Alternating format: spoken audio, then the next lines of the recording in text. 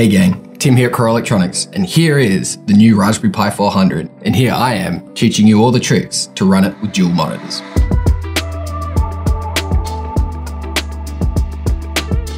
Being productive and efficient on a computer has become synonymous with dual screens. So let me go through the list of what we will need to make dual monitors run.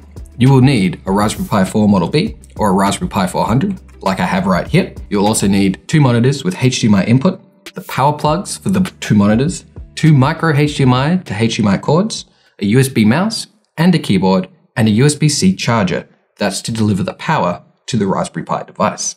So the cords, processors, and options to set up dual monitors will be exactly the same for both microprocessors, except the connections will go in in slightly different places.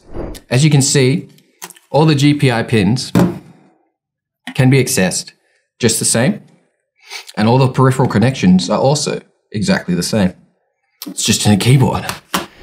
So let me now demonstrate on the table with the Raspberry Pi 400, putting in all the connections. Crucially are the micro HDMI plugs, which are found here and here. On a Raspberry 4 Model B, the micro HDMI plugs connectors are here and here. Now, with almost all the plugs in and NOOBS installed to the SD card, check out link guides in the description if that's new to you. We'll plug in the USB-C and get juice into this Raspberry Pi 400. So long as everything is done correctly, dual monitors should be a go. You will initially see both the screens do their color gradient image, and then the Raspbian OS will greet you. Almost too easy. Worth noting, when you are using two monitors, the video out quality maxes out at 4K 30 frames per second for both the monitors. When you're using only a single monitor, the video out quality maxes out at 4K at 60 frames per second. This is for all versions and revisions of the Raspberry Pi 4 Model B. Now, let me demonstrate how you can alter dual monitors in Raspbian OS. Starting with the appearance setting window. This window can be found by right-clicking anywhere on the desktop and then clicking on Desktop Preferences in the menu toolbar that opens up right next to your cursor. So the two tabs let you alter settings for each monitor. If you just wanted the both monitors to display the same image, you can just click right here, press OK, and you'll see that the same image appears for both sides. We go back into desktop preferences and change this away.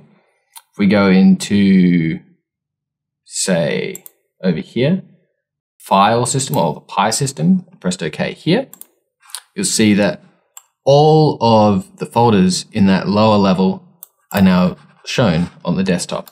So these checkboxes can be used on the bottom of the desktop tab to automatically show all the application icons within that folder of your Raspberry Pi to the specific desktop.